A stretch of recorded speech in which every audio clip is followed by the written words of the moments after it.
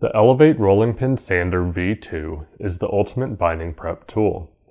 What would normally take hours of hand sanding or scraping can now be done in a fraction of the time. Plus, it's easier on your shoulders and elbows. The rolling pin sander is constructed of a ground steel shaft that connects via ball bearing to an aluminum handle. Its machined aluminum drum ensures that you can get a truly flat surface, and the sander is driven by an ordinary handheld drill. This adds the benefit of variable speed control, as well as being easy to maneuver.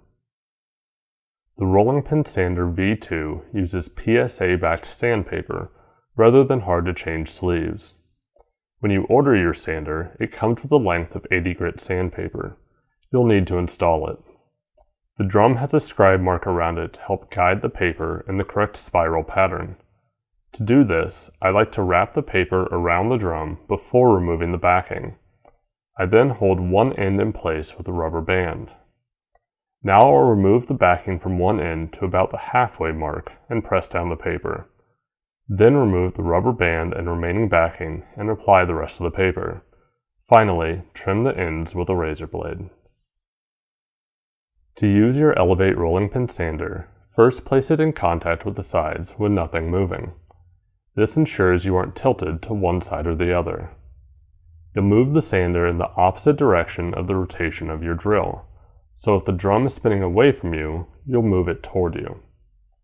Moving in one direction and stopping between passes is recommended as moving back and forth is a good way to accidentally round your sides.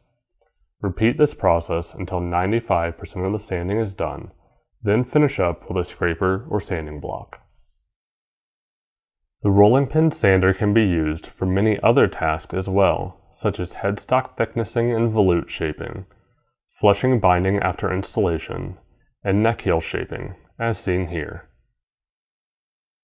The Elevate Rolling Pin Sander V2 speeds up the task of flattening sides and prep for binding, utilizes easy to change sandpaper, and can be used for lots of other small tasks in the build process.